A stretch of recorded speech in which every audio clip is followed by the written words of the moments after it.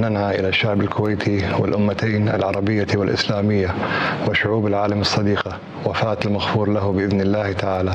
حضرة صاحب السمو الشيخ نواف الأحمد الجابر الصباح. بعد حياة ثرية بالمناصب السياسية أعلن الديوان الأميري الكويتي وفاة أمير البلاد الشيخ نواف الأحمد الجابر الصباح عن عمر ناهز 86 عاما.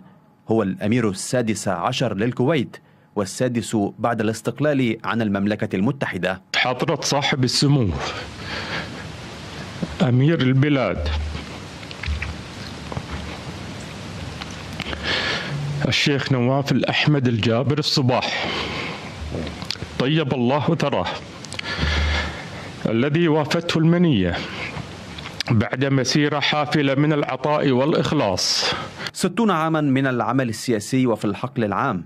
بدأها عام 1962 عندما تولى منصب محافظ حولي وفي آذار 1978 تولى حقيبة وزارة الداخلية ثم منصب وزير الدفاع في كانون الثاني عام 1988 حيث طور العمل بشقيه العسكري والمدني واهتم بتحديث وتطوير معسكرات وزارة الدفاع ومدها بالأسلحة.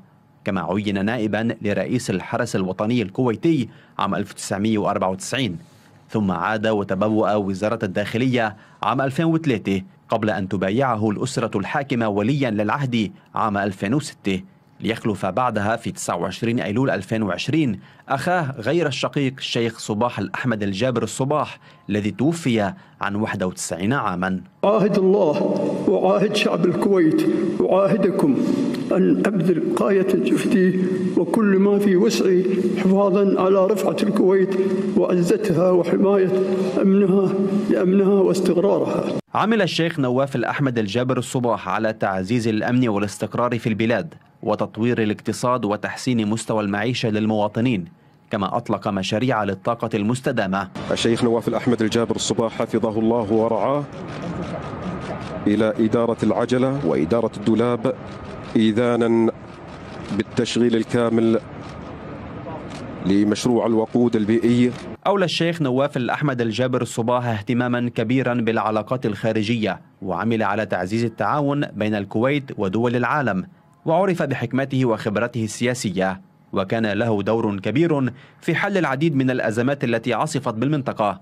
أصدر خلالها مراسيم العفو الخاص بغية طي صفحة من الخلاف السياسي حافظ خلالها على استقرار الكويت وتمتع أيضا بشعبية كبيرة بين المواطنين الكويتيين. استكمالا واستمرارا لحرصنا على تماسك ووحدة أمتنا العربية.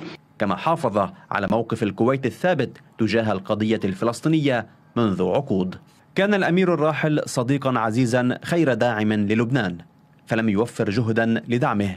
أكد دائما وقوفه إلى جانبه في كل مراحله وأزماته. حيث كان للأمير الراحل مواقفه ومبادراته الخيرة تجاه لبنان وشعبه.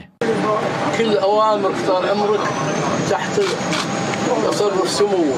ما نتعلم ولا نتصرف ولا نقرر أي شيء إلا معروض على سموك والموافقة من سموك. في أواخر تشرين الثاني الماضي دخل الشيخ نواف الأحمد الجابر الصباح المستشفى إثر وعكة صحية طارئة لتلقي العلاج اللازم وإجراء فحوصات طبية. ثم أعلن لاحقا أن حالته مستقرة قبل أن تعلن وفاته الأحد عن عمر ناهز 86 عاما. فإن مجلس الوزراء ينادي بولي عهده حضرة صاحب السمو الشيخ مشعل الأحمد الجابر الصباح أميرا لدولة الكويت. وبعيد إعلان رحيل أمير البلاد عقد مجلس الوزراء الكويتي اجتماعا استثنائيا ونادى بولي العهد الشيخ مشعل الأحمد أميرا للبلاد. كما أعلن الحداد الرسمي 40 يوما وتعطيل الدوائر الحكومية ثلاثة أيام اعتبارا من السبت.